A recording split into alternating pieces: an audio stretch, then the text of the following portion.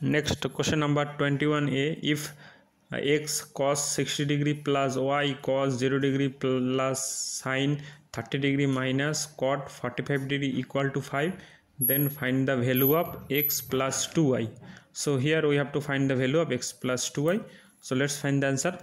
Uh, so here given uh, x cos 60 degree plus y cos 0 degree plus sine 30 degree minus cot 45 degree equal to 5 so now we will put the values of cos 60 degree cos 0 degree cos sine 30 degree and cot 45 degree. Therefore uh, that is imply x into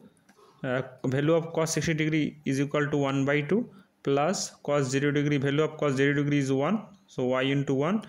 plus uh, value of sine 30 degree is 1 by 2 minus the value of cot 45 degree equal to 1 so minus 1 equal to 5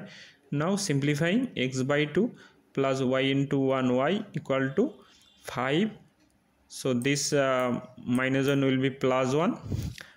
and this plus half will be equal to minus half. Now simplifying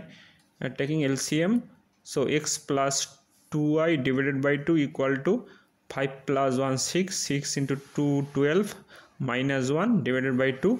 and here this and this 2 will be cancelled. So x plus 2y 2y will be equal to 11 minus 1 uh, 12 minus 1 that is equal to 11